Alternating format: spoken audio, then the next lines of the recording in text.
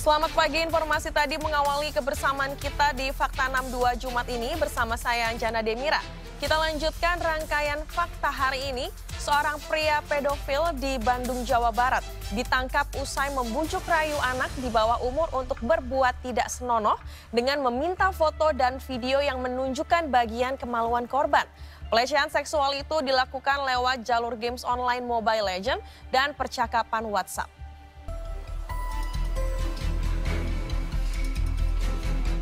Nasib pilu menimpa gadis belia asal Tasikmalaya, Jawa Barat. Berawal dari game multiplayer online Battle Arena Mobile Legends, gadis berusia 13 tahun justru mendapat perlakuan tak senonoh. Berawal perkenalan antara pelaku dengan korban di game Mobile Legends, komunikasi keduanya kemudian berlanjut hingga saling berbalas pesan di WhatsApp.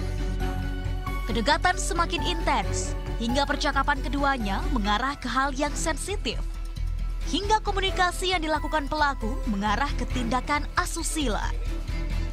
Saat sang bocah mulai terpedaya, pelaku lalu meminta foto dan video yang menunjukkan bagian kemaluan korban.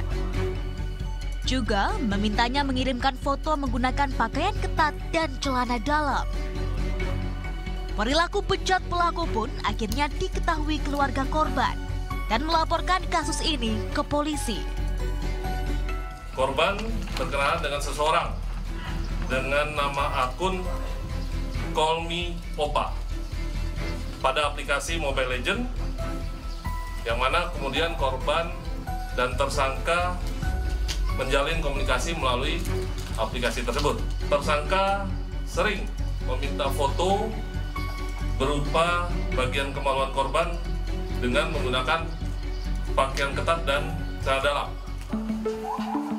Polisi masih terus melakukan pendalaman untuk mengetahui motif pelaku melakukan hal tak senonoh ini, termasuk memeriksa kejiwaannya.